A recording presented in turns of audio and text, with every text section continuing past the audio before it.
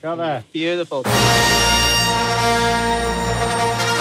Ladies and gentlemen, welcome to episode eight.